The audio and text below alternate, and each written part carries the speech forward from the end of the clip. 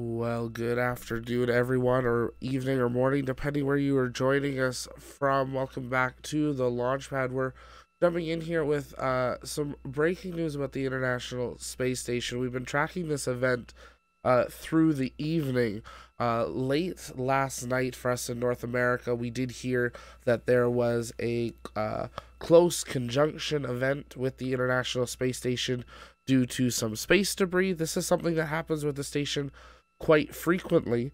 Uh, so we didn't think anything much of it. Uh, and this story has developed a lot over the last uh, couple of hours uh, as the U.S. Depart- State Department, uh, Russia, and a number of other agencies are now releasing statements. Uh, and I'm just going to read the U.S. State Department statement that was released about 30 minutes ago because it wraps it up easiest to understand. Earlier today, the Russian Federation recklessly conducted a destructive satellite test using their anti satellite weapon ASAT. It's an anti satellite missile, uh, get, and they used it against one of their own satellites. So this was Russia against a Russian previous generation satellite. The big problem, and this is me now talking, the big problem is uh, as follows. This is continuing the statement. The test so far has generated 1,500, 1,500 pieces of trackable orbital debris and hundreds of thousands of pieces of smaller debris that cannot be tracked. This de- orbital debris threatens the interest of all nations in low Earth orbit. Uh, so as you can see, we've got our live tracker up here. The static that you're hearing as well, that is uh, the live comms of station to ground. Uh, and the big significance of this is, is this orbital debris path, this cloud, now passes the International Space Station every 93 minutes.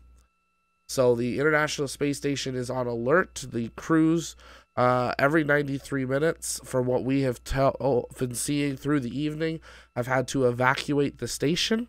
Uh, and they have gone into their Crew Dragon and their Soyuz in case of a pressurization loss. The biggest issue is not the 1,500 pieces of trackable debris. We can track those. The issue is the hundreds of thousands of smaller pieces of debris that now threaten.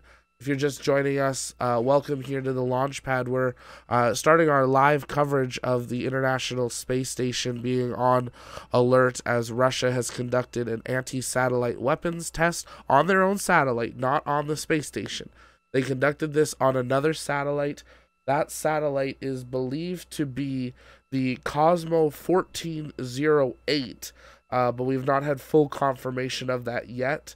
Uh, but from everything that is pointing to that, the Cosmo 1408 has a orbital uh, track that's exactly with the cloud of debris, uh, causing the space station to be on alert every 93 minutes. There are procedures in place to protect the International Space Station, uh, with crews being able to evacuate into their capsules for protection. Uh, and should they need to evacuate, they would be able to do so. But um, uh, a big developing story. We've been trying to uh, just get all the facts before we went fully live on what has occurred. Uh, but this is uh, this is not good. this is something that is a, a, major issue. and the issue is this could force issues for days. We're not too sure. So we're trying to uh, confirm all of that uh, now. Actually, we're seeing that the U.S. Department. Loans, in other words, we are actively visiting the largest democracy. We're just seeing they we got confirmation that they might have been addressing it. In the Pacific, Daniel Kritenbrink, global chat, 100 pieces. Here we go. This is from the State Department. Seoul, he met Will some weeks ago to the complete denuclearization of the Korean Peninsula.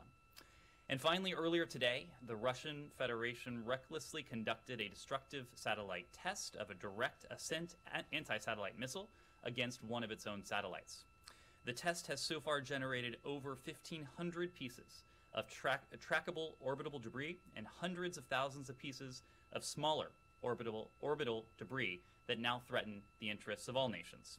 In addition, this test will significantly increase the risk to astronauts and cosmonauts on the International Space Station, as well as to other human spaceflight activities. Russia's dangerous and irresponsible behavior jeopardizes the long term sustainability of our outer space and clearly demonstrates that Russia's claims of opposing the weaponization of space are disingenuous and hypocritical. The United States will work with our allies and partners to respond to Russia's irresponsibility.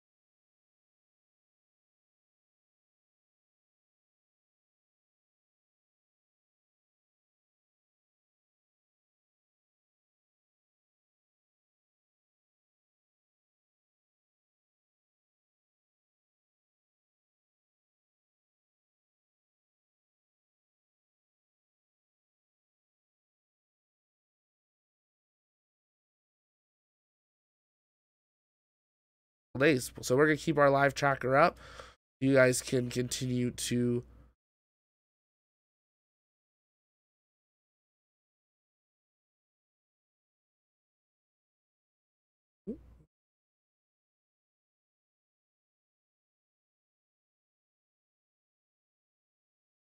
you guys have questions, you can continue to send those in in the chat and we will be answering those.